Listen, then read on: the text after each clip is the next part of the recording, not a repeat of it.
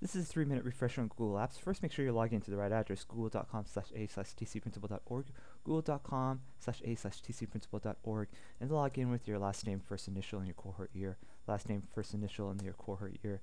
This brings you to your control panel with all your services. So you click on the service you want to use. Let's look at our email first.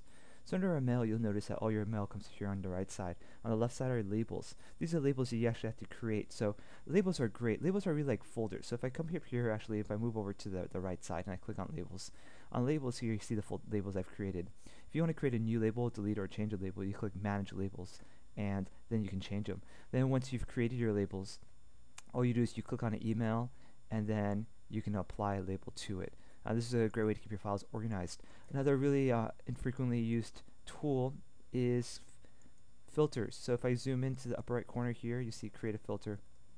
Let's, let's create a filter. A filter is telling Google to do something specific to an email based on keywords. So if I type in 4001 here, any email with the word 4001, I'm telling Google that it should do one of these things or multiple of these things. Apply, apply it directly to a folder, that's sending it directly into a folder, or to uh, forward it to an email or something else. Now, forwarding all emails. So let's say I want to, uh, here in the upper right corner, settings. In the upper right corner, settings, I want to forward all my emails. I go over here to forwarding, and I can forward all my emails to somewhere else. Let's go on to Docs.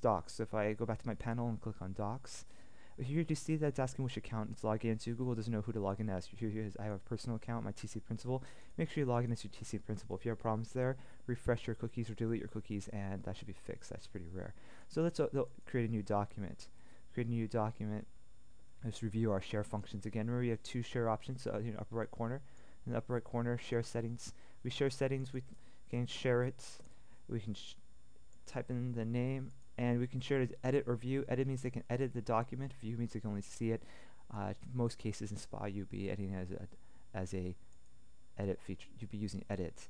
Now uploading feature. So upper right, upper left corner, we're uploading documents. So you're uploading a document to turn in. Select the file you want to upload. And remember, you have two options. You want to have it converted to Google Docs or leave it in its file format. If you're going to unclick it, it will leave it in its original format. Uh, if you click it, it will be converted. In Google SPA, usually you want to convert it. There's sometimes definitely you will want to leave it in its original format. And there's also options to do optical character recognition OCR. And you can then also set its visibility settings and directly have it upload to a folder. We go back to Google Docs now. Now, um, if you take a look here, you see like I have a lot of files in this in, on my on my desktop in Google Docs. So there's different ways I can sort it. I can do by Open by Me, Shared by Me. It's helping me view and figure out where my files are. I also, if, you, if I zoom out, you can see I have folders. So uh, down here I have my folders. That I can create new folders. Once I've created a folder, all what I do is when I click on a document, I all I do is drag it. So all I do is I can drag the document into a folder.